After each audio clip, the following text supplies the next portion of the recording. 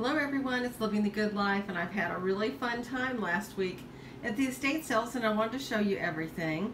Got a little, little bit of um, uh, Pyrex, got a little bit of Fenton and some useful stuff. Let's talk about that. Uh, Bath and Body Works soap a dollar. I think the soft soap was about a dollar. Bath and Body Works candle, probably a couple. Some of the stuff was just kind of grouped in and I don't even know how much I paid for some of it. Got some puzzles at a church rummage sale. They were $2 a piece. So you know what I'll be doing when it gets really hot. Also went to an estate sale and we were, we, we went ahead and went to a couple of garage sales first. They turned out to be nothing. And we showed up. We thought, oh, we're going to be late getting to this estate sale. But, um, and there was these Pyrex that we wanted. And we came up and there was this young kid. Gracious, he could have been my, obviously he could be my kid, but he probably could have been my grandchild. we said, hi, we're, so we're after you. And it was like 45 minutes before the sale started and there was all this fabulous Pyrex. And um, we were only the second and third in line. And then finally the fourth and fifth showed up and they were after the same thing we were. But I peeked through the door it was one of those leaded glass front doors. It was wood and glass, and there was a little clear panel, and I could see in there, and I could see the Pyrex. So I knew which way we had to run. So we just took off and grabbed everything. So here is, uh, we found this Federal Glass Sunflower Mold covered bowl, and it was $16, which was probably a little bit more than we should have paid. I, I got a baggie of jewelry, and I should have put this back because I saw that they had a lot of um, uh, Avon, and but there was a ring in here that I thought might be good. Mm, no. Uh, this is a buck knife, and I got it open, and now I can't get it closed, so there you go. Got a little brass cam, and I think that was two. Uh, the brass camel, I think, was about a dollar. I'm not sure how much all these belt buckles were. This one is uh, a really neat old coin one and I'm going to have to look at all these different coins and figure out what I've got. But that is a really neat belt buckle for probably just a couple of dollars. Here's one, 1965, some kind of half penny something or other. Here's one with a horse on it. These go really well at my garage sale. Uh, we've got like a Murano-esque, I don't know if it's Chinese or what, but this is, um, it was uh, $1. This wonderful mid-century spaghetti bowl splatterware um, was six dollars. And everything I can see online nobody has this stand and it, it just makes it. Is that not the neatest thing? Look at it it's all splatter all the way through.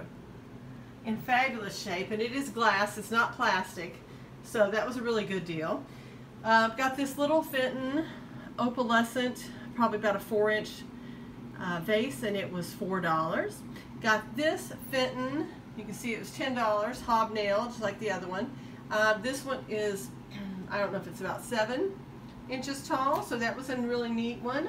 I like that color. This is what we were going for. There was a set of four uh, pink gooseberry Cinderella bowls. We got there, they were $80. We grabbed them, we went to the corner, we looked at them. The first bowl, the smallest, the pattern was completely gone. It was useless. The second one was horrible condition too, just terrible dishwasher damage. The fourth and fifth were okay, but for $80, it was not worth it. So we put them back and someone else brought them home. Um, but we also saw this, oh those were, um, so this was the Robin's Egg Blue um, set of three uh, bowls, mixing bowls, and they were $20, as you can see from there kind of got torn up when I tried to put some bu bubble wrap in between. And we also got this one. You know, and I thought that was, uh, that's Robin's Egg Blue. That's not turquoise. Um, I, that's even better. So that one is, um, that one was 16 as well, and that one's really good. Those are going for about $100. So we did really well there. And we went to another sale and I dug through this box of silverware. It was $30 for everything. And I looked through and these were not the same. And I started looking at them and go, wait a minute. So here's a really neat uh, 1924 of course, it's sterling. So that was a good one. Here's another one, sterling. And it's a really pretty one. Too bad there weren't more of these. Uh, these were a dollar a piece. This is a coin silver. It's got an and, and I, has anybody ever heard of these people? Mc, uh, McCarty. Let's see. Wait a minute. T. McCarty. I have searched and searched. I can find McCarty along with another maker, but I can't find McCarty T. McCarty anywhere. And it is just, it's very, very thin. You can tell it's got a lot of age. Just the engraving there, you can tell it's older style of writing. A dollar a piece. They were fabulous.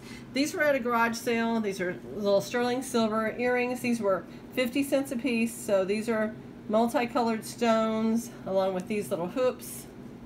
This is a crucifix, sterling silver with a sterling silver chain that was a dollar. These chains were a dollar a piece, and I'm always looking for chains for all these um, um, necklaces that I have. And these were two that I had bought at that $225 um, sale. And this was, what?